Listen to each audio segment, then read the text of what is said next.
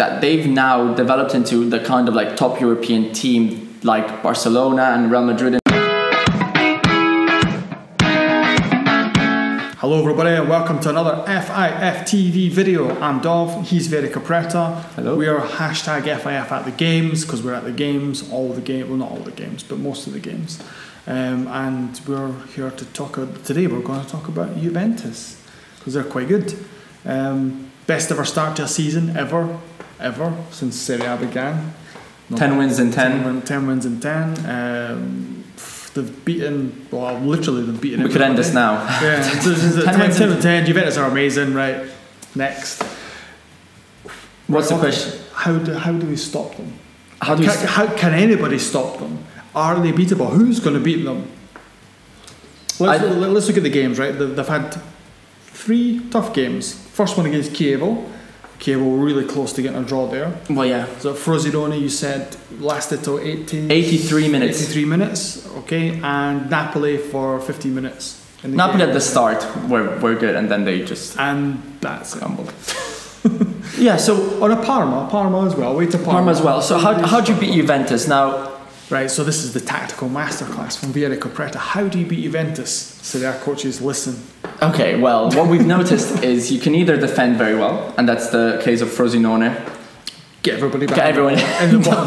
box and see what happens. Because if you if you look at the game with Frosinone, not only um, Juve took 83 minutes to score, but they didn't have that many clear chances either beforehand. They had a couple. I mean, they are Juventus. You're talking about amazing players. Yeah. But Frosinone are quite good at resisting.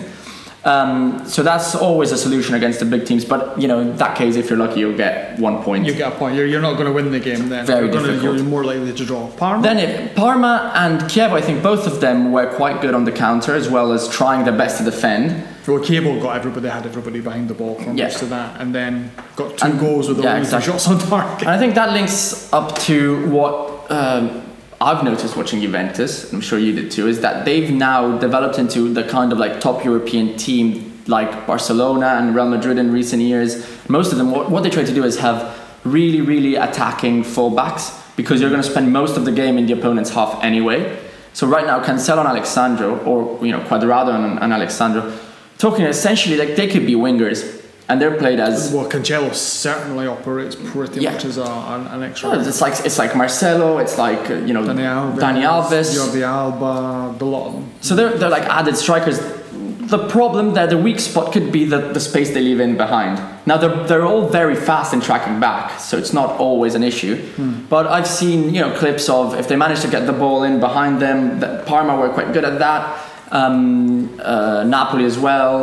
Even Udinese at points where you try and get a long ball behind there and try and get the wingers to use that space. That can be a danger for Juve. But it's difficult to do because not very teams. You need, you need to be perfect, you know, in the technical way of moving the ball around, try to get it to your wingers when, of course, the full, the Juve's fullback is up front. So you need to be as quick as possible and Yeah. And then Perfect. against the Napoli for 50 minutes, high pressing game. high pressing game. Forced Juve Yeah. back, and for that 50 minutes, uh, I obviously was there, and you were thinking, wow, this is fantastic. This, this that, that performance for those 50 minutes was better than when they beat them with Yeah. Sarri, with Koulibaly's goal at the end of last season. They were, they were, they were on top. However, what I would say to kind of counteract all of that, Juventus, when they needed to, they step up. They stepped up a gear against Napoli, and they played some amazing football themselves as well.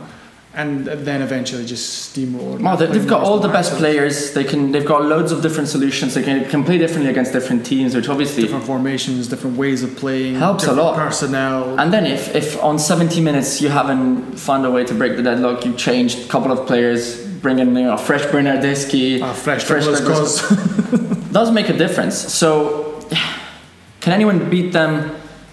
Can anyone beat them?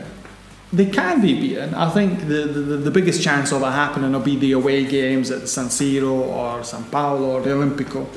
I don't think any of the smaller teams will do it, if I'm being perfectly honest. I think last season they only lost three games of the entire season, and, and one was at home to Lazio and one was away to Napoli. I think if they do progress in the Champions League, we might see them dropping some points See, I think yeah, in and around the round of 16, quarterfinals. Maybe, but last season you could have said. I think this season, I think their second eleven is good enough to win the Scudetto. Yeah, probably. Wh- wh- Which is really worrying for the other teams.